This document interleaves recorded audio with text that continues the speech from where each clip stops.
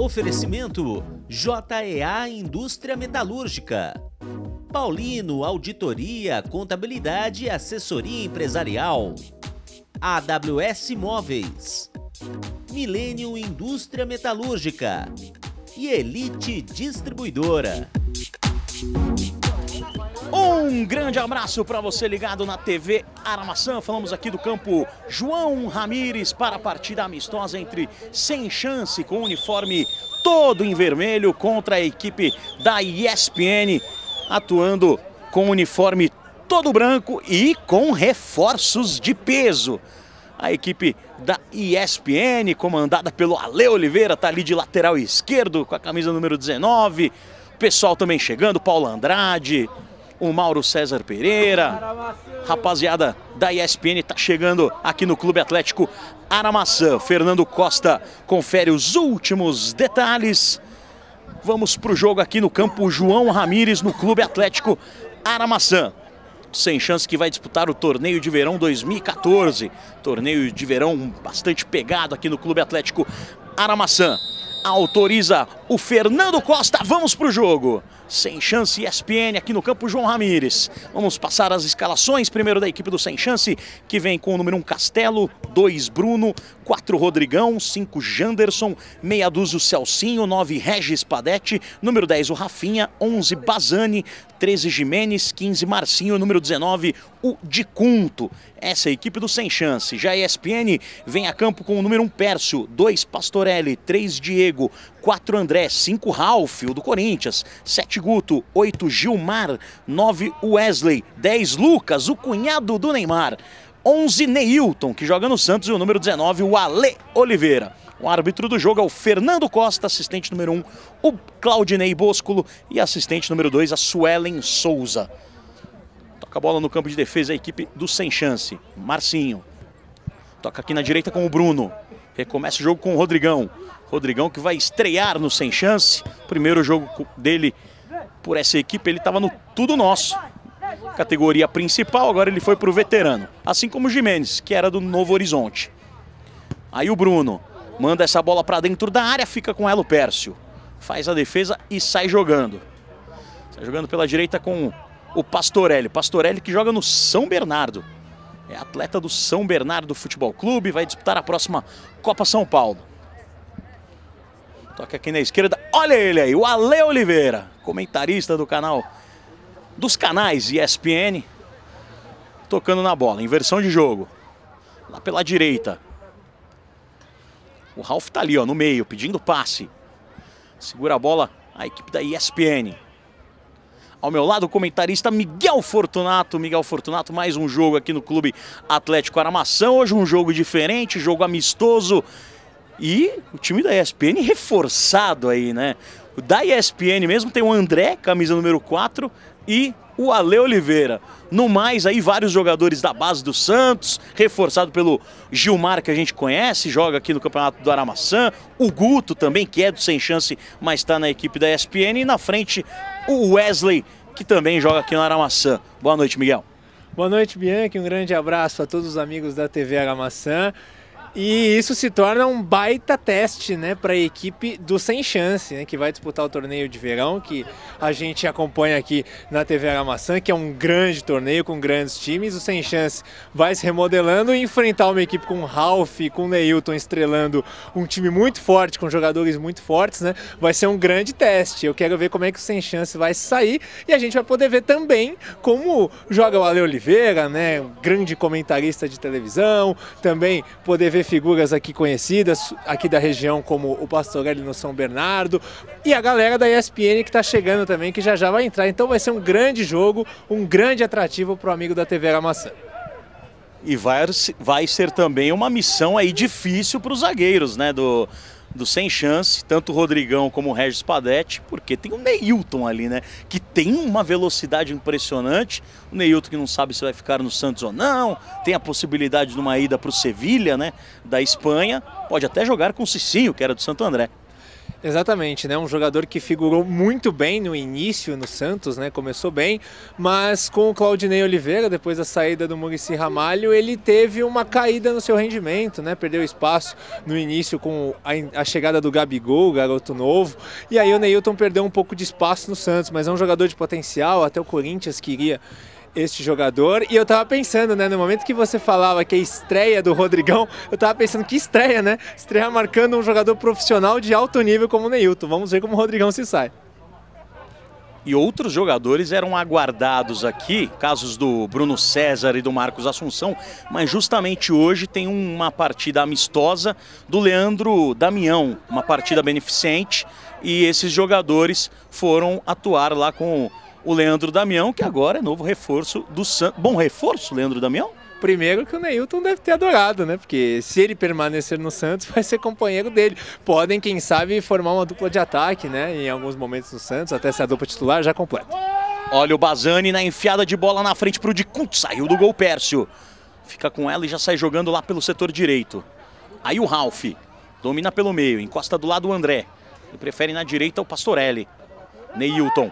Passou com o Pastorelli, bate na bola ali o Bazani. Aí o Ralph faz o giro, entrega do lado. André recomeça com o Lucas. O Lucas que joga ali com a 10, zagueiro ao melhor estilo Galás.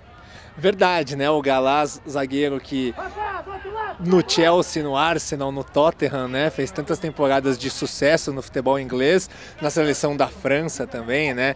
Aquela bola jogando pelo Chelsea contra o Liverpool na semifinal da UEFA Champions League, né? Que ele salvou em cima da linha ou não, ninguém nunca vai saber em 2005, né?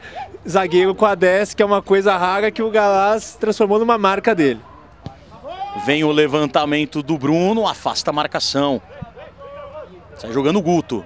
Na direita com o Pastorelli. Galassi que hoje está no futebol australiano. Como diz o, o, Mauro César, tem o mundo árabe lá, é o mundo da Oceania. Tentativa do Neilton, chegou o Rodrigão. Faz a enfiada de bola lá pelo setor esquerdo. Com o Jimenez. Faz o domínio, joga para dentro da área na direção do Dicunto. Foi muito forte. Bazani. Tem o Bruno pelo meio pedindo. Bazani. Encarou a marcação. Tocou com o Dicunto. Puxou para o pé esquerdo. Bateu à direita do gol. Bom o giro do Dicunto. A bola foi à direita do gol do Pércio. Com um perigo. Dicunto que é sempre perigoso apareceram, na minha opinião, os três jogadores da articulação, né? Com bastante talento desta equipe do Sem Chance. O Jimenez, né, que colocou a bola, bate bem na bola. Depois a jogada prosseguiu no lado e o passe veio para a finalização do Dicunto, que é perigoso, como você disse. Quando ele gira e bate desse jeito, é muito perigoso, muito difícil de marcar. Ali o, o galás da ESPN, né, o Lucas, que é o cunhado do Neymar, vai ter que ficar esperto ali, senão vai ter muito perigo nessas jogadas. E a gente está entregando aqui o Lucas, porque ele falou que não gostaria que fosse revelado, ele falou, não quero essa resenha no ar. Mas no bom jornalismo, né? A gente está revelando para você que está acompanhando a TV Era Maçã. Recebe o Neilton. Faz o toque na frente. chegou a marcação ali, apertou forte o Regis Padetti. Guto toca com o Gilmar, ele pega bem na bola, passou de novo com o Guto.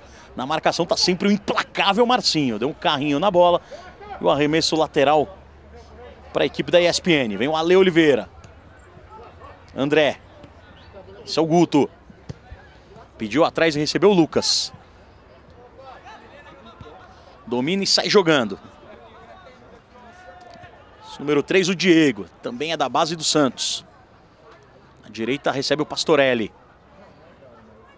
Neilton. Atrás tem o André pedindo, o Neilton ergueu a cabeça e tocou com ele. Do outro lado tem aqui o Guto. E começa o jogo. Diego. Na frente o Wesley. Wesley, também conhecido como Lito, vocalista do Nuance. Ralph com o Neilton. De novo Ralph. Trabalha a bola no campo de ataque. A equipe da ESPN. Gilmar. Gilmar que foi profissional do Santos. Ale Oliveira. Tá aí, ó, o Ale Oliveira inteiro na tela para você. Ele preenche bem a tela.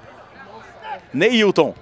de calcanhar aí forçou demais a jogada para o Gilmar. A bola saiu em tiro de meta para o sem chance. O legal é a dupla de ataque de pai e filho, né? O Gilmar poder jogar com o seu filho, com o Wesley, né? Ele que não viu o seu filho seguir a sua carreira como jogador de futebol, né? O Gilmar, ex-jogador de futebol, joga aqui até hoje no Aramaçã, no Superstar, no Chicago Bulls. Mas aí o Gilmar viu seu filho na música, só que pelo menos gosta de jogar futebol, né? Não profissionalmente, mas joga. E aí ele tem o prazer, né? Não fazer a dupla de ataque prontamente, porque ali o atacante mais avançado é o Neilton, né? Ao lado do Wesley, mas o Gilmar tá junto ali. E o Rafinha tentava ali a briga contra o Lucas, mas acabou metendo a mão na bola e o Fernando Costa parou o lance.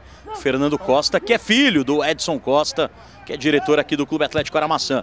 Aí o Gilmar no levantamento, aí domina com tranquilidade o Regis Padete. saiu jogando errado, brigou o Guto. O Guto conhece muito bem o Regis Padete. Há muito tempo os dois jogam juntos nessa equipe do Sem Chance. Bola lá na esquerda com o Celcinho. Ergueu a cabeça, faz o lançamento. Vacilou no primeiro momento ali o Diego, mas o André recuperou a posse de bola. Ralf. Guto. E a falta do Rodrigão. Uma beliscada ali no tornozelo do Guto.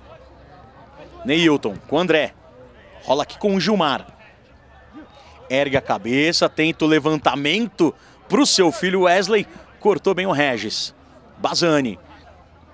Carrega, o Jimenez pede ali pelo meio, vai conduzindo a jogada, tenta enfiada de bola, fica de graça para o Lucas. Com mais posse de bola até aqui, time da ESPN. Lucas vai levando, tá aí o zagueirão se aventurando no campo de ataque. Faz o passe nas costas do Pastorelli. Aí ficou difícil para o lateral direito, que a gente conhece muito bem, joga aqui no Aramaçã, filho do Éder Pastorelli, que é técnico aqui do Clube Atlético Aramaçã, lateral que apoia muito. Apoia, apoia bastante, sim. Ele tem por essa característica, né? Também sabe chutar.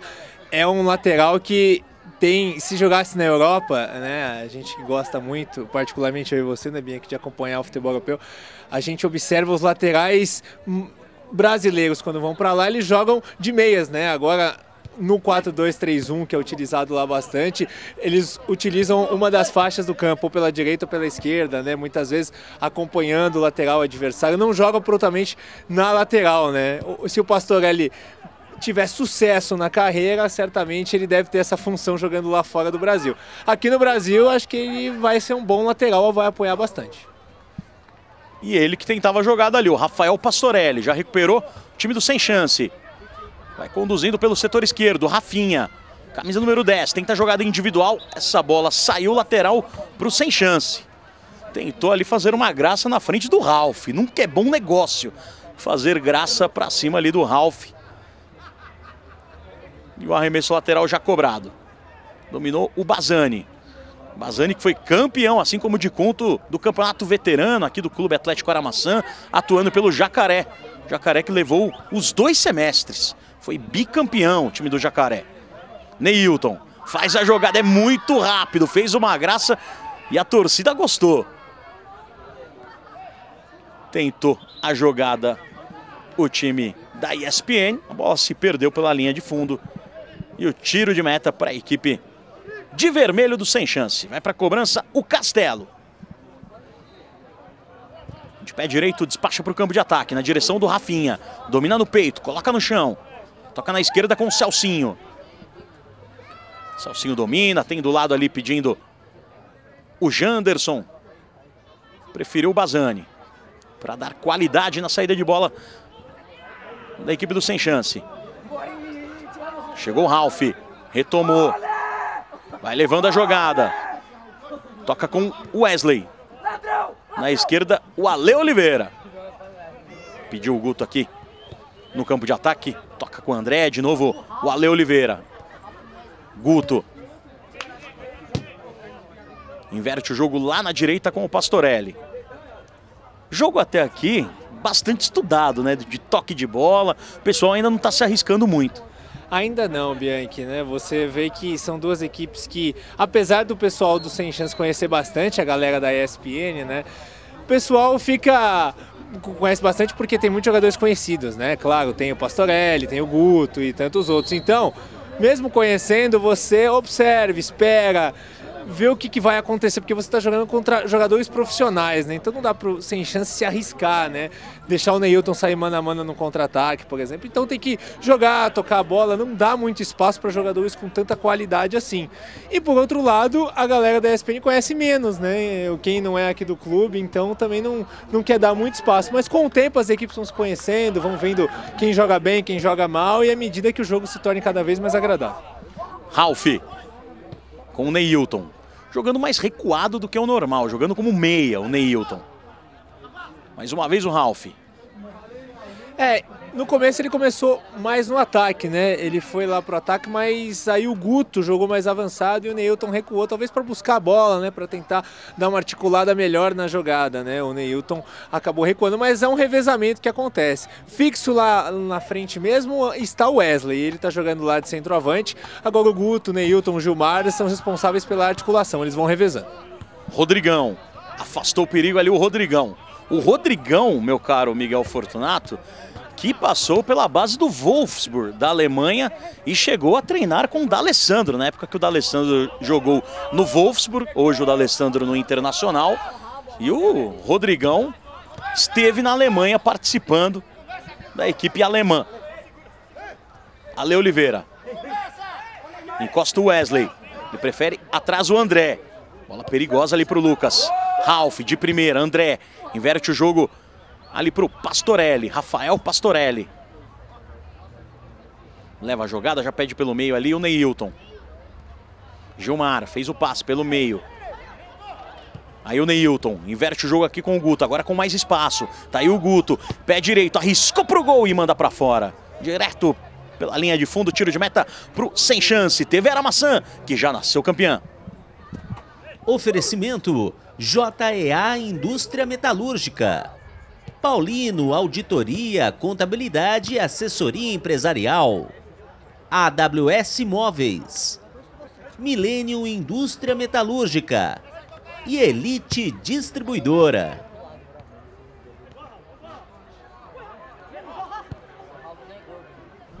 Jimenez na enfiada de bola pro Rafinha, arriscou pro gol e mandou para fora.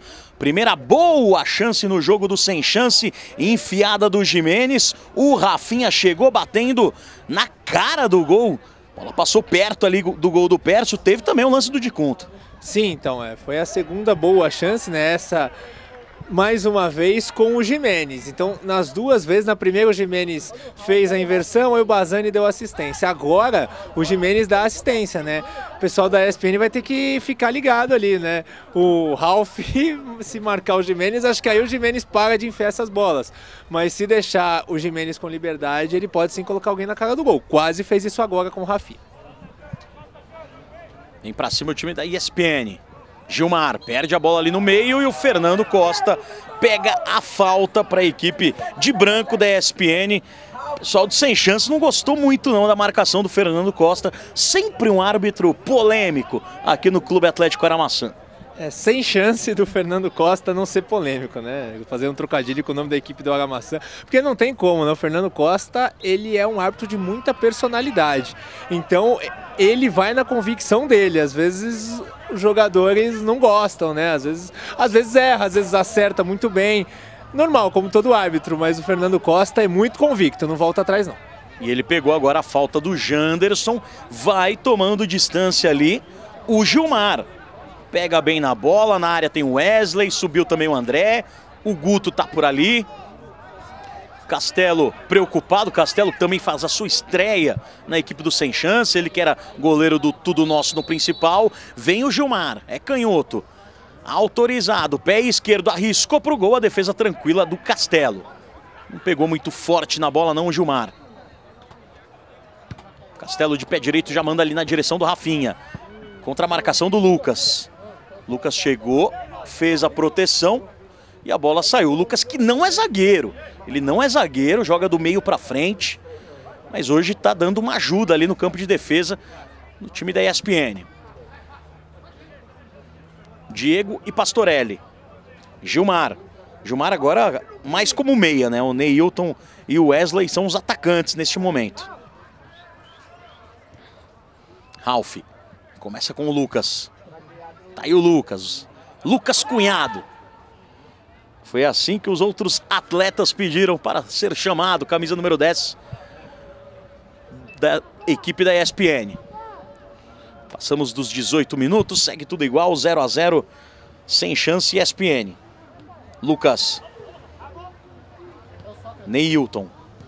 Veio marcar aqui em cima o time do sem chance. Ale Oliveira. André. E aí o Lucas. Toca a bola no campo de defesa. Equipe da ESPN. Ralph. Enfiada de bola na frente, Pastorelli, tá pelo meio, Neilton, Pastorelli pro Neilton, vai chegando o time da ESPN, a falta marcada. Falta marcada para cima do Neilton, mais uma boa chance para a ESPN. É, então, quando há uma aceleração dessa, fica difícil de marcar, né? Tava todo mundo posicionado marcando o seu jogador. Agora, quando o Pastorelli infiltra pelo meio e começa a tabelar com o Neilton, os dois em velocidade, alguém teve que parar com falta, né? Esse pode ser o caminho para a ESPN. E vem Wesley. Wesley, camisa número 9. Tá com a 9 Wesley. Quatro jogadores na barreira. Tá ali o Bazani, o Regis Padetti, o Bruno, também o Jimenez. Vem para cobrança Wesley. Bom momento para ESPN.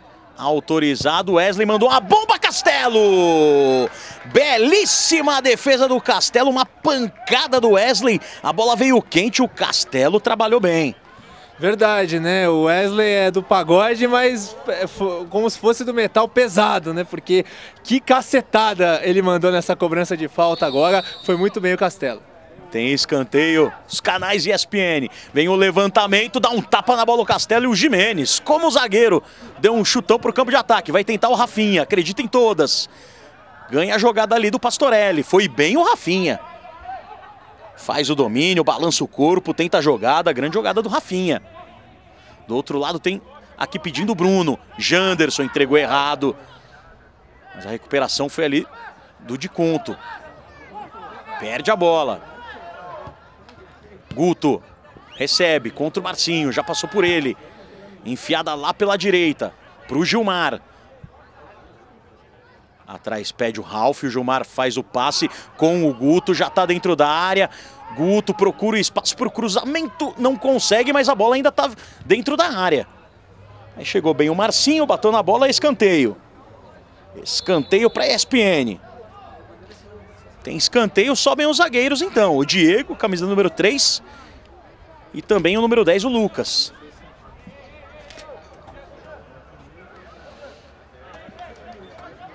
Aí a cobrança do escanteio.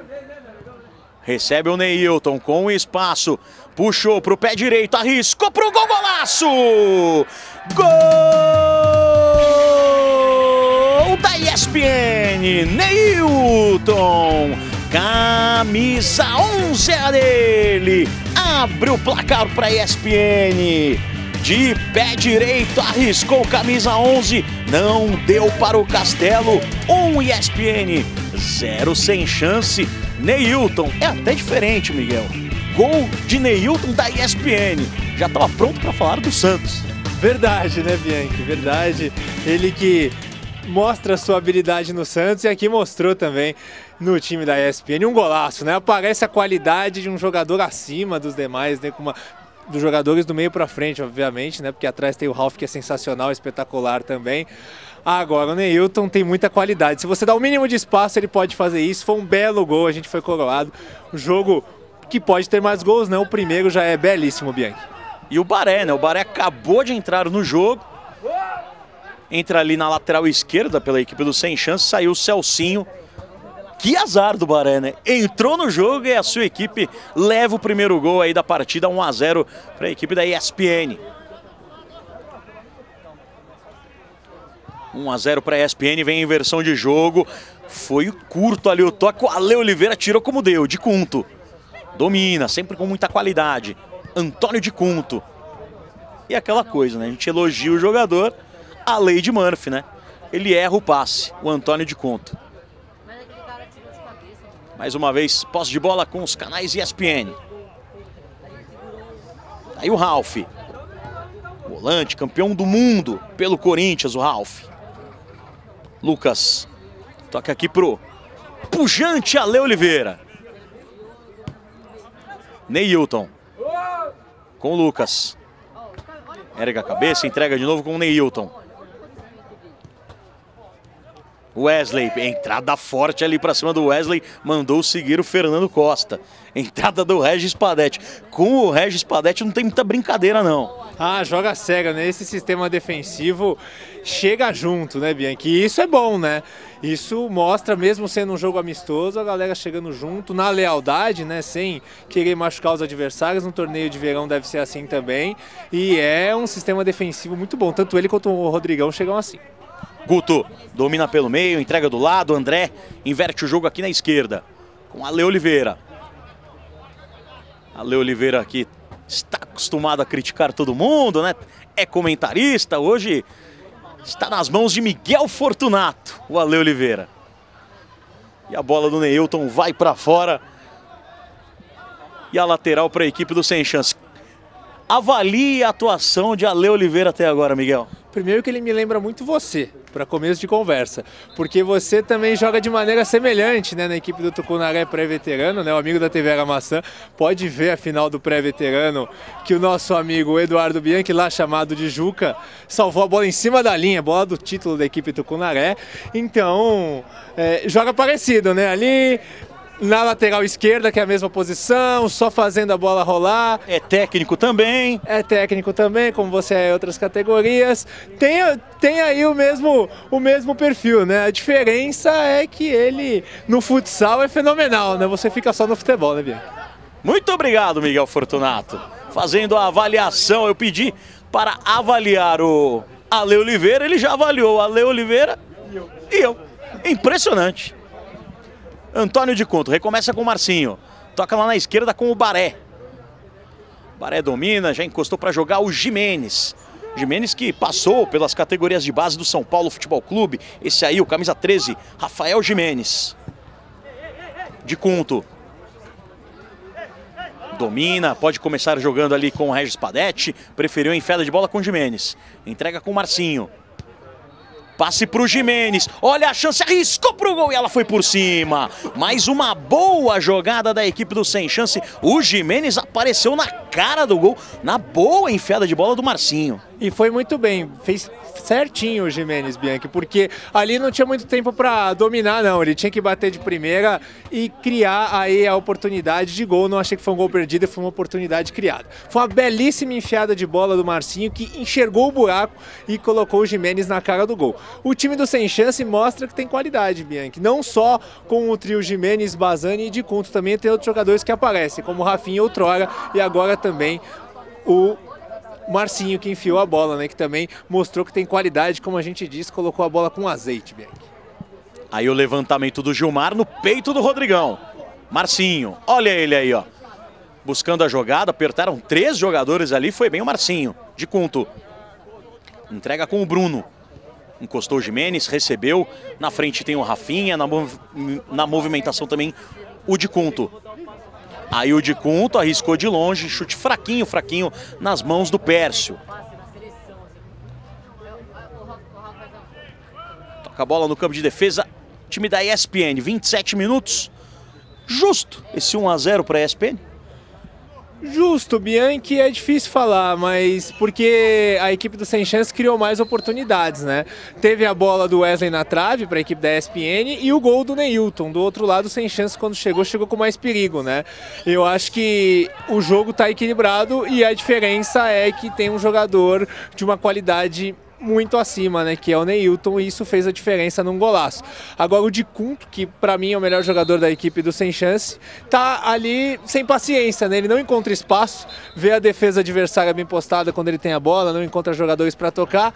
Primeiro ele deu uma enfiada de bola ali forçando demais e agora ele tentou um chute de muito longe, né? Tá sem espaço para encontrar os companheiros, então o de Cunto, que é o principal jogador do Sem Chance, que é para fazer o time jogar, não tá conseguindo fazer isso até o momento. E isso faz toda a diferença também, né? Alteração no sem chance, saiu o Janderson com a camisa número 5, volante, vem para o jogo o Charles. Olha ele aí com a bola, o Charles. Joga com a camisa 18 de Cunto, com o Jimenez. Marcado pelo André, toca na direita, Bruno, erga a cabeça, fez o cruzamento, arriscou, chute de primeira. O camisa número 10, o Rafinha, teve desvio, escanteio. Escanteio no desvio do André. Vem o Jimenez para a cobrança do escanteio. 28 minutos. 1 a 0 ESPN. Gol marcado pelo Neilton.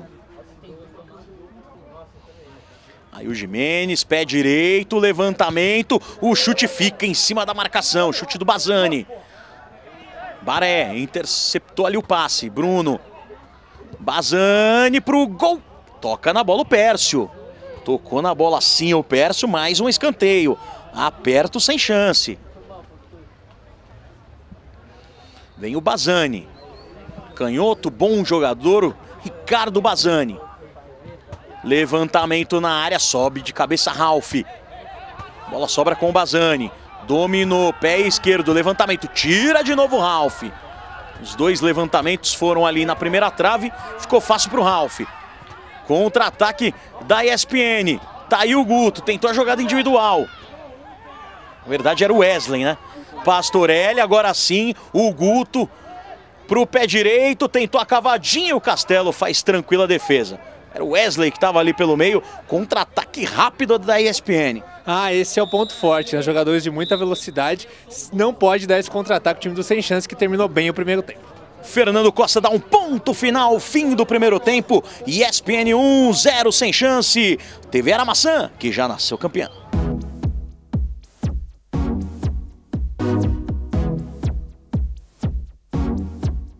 Oferecimento JEA Indústria Metalúrgica. Paulino Auditoria, Contabilidade e Assessoria Empresarial. AWS Móveis. Milênio Indústria Metalúrgica. E Elite Distribuidora.